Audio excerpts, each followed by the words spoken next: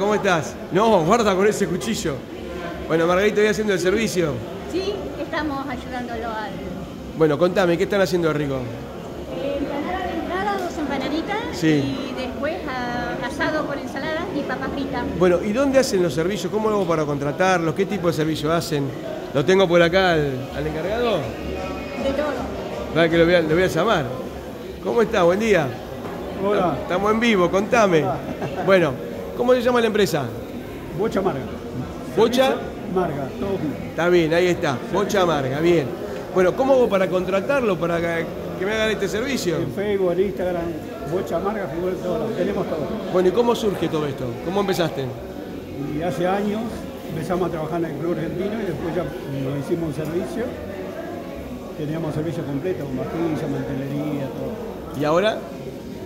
Seguimos igual. Hay servicio completo, si uno quiere hacer una fiesta. Sí, completo. Y si uno quiere hacer eh, un asado o una pata, También. también se hace. Y en casa también cocinamos y llevamos a casa de familia, así. Está bueno eso también. ¿Qué comidas hacen en tu casa? Es todo. Lo mismo, pata, asado. ¿Es todo lo- todos los días o los fines de semana? No, no, es por encargue. Por encargue. Después de la pandemia implementamos eso. Por ejemplo, una pata. Eh, te la tengo que encargar con cuántos días de anticipación? Somos 20. Dos días. ¿Con 20 personas está bien una pata? Sí, sí. Y viene con Te hacemos la frita. cantidad que quieras. Claro. Ah, bien. ¿Y cuánto vale aproximadamente? No, no te Eso es el momento. Sí, el momento. Hoy en día el momento. Bueno, ¿y cuántas personas trabajan con vos o viven de todo esto? Y somos dos familias. Dos familias. Bueno, casi tres. La- la Ocho, nueve. la verdad El que- hijo, la nieta. Se va enganchando toda la familia. Según el- la cantidad que sea, trabajamos. ¿Y, vos, y vos a qué te dedicabas antes? Y antes, mirá, eh, trabajé en el frigorífico. Después tuve veinte y pico de años en el Club Argentino. Sí. Fui uno de los que hizo todo el predio allá. Y eh, hace siete años más o menos me retiré del club. Fui utilero. Y utilero, de Estuve todo. en el campeonato argentino del, club. Uh, me imagino las historias que tenés. Tenemos de todo. Exacta, Sí. Exactamente, ¿no? Bueno, y hoy acá, con esta empresa, trabajando. Sí, bastante.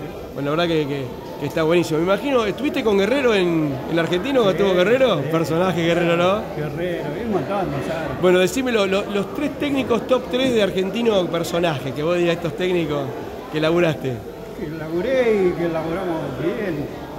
O sea, todos más o menos cada uno en su forma. Pero José Gabonet, el Patón Vicente, Mirá. ¿Y el mejor equipo argentino que hayas integrado? El Patón Vicente en el. oh, no me acuerdo el año, ahora creo que fue en el 93, 94. ¿Esa época fue la que vino Salaberry? No.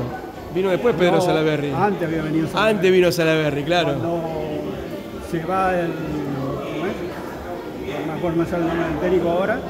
Agarra el patón con el Leo Boy.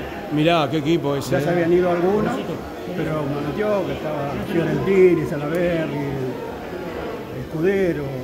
Qué equipo. eh, montón ¿Qué, fútbol que tenía, ¿no? Qué fútbol lo, lo que era la, la- la Pampeana, bueno, en ese momento también ya a nivel nacional, pero este, no hay esos equipos hoy.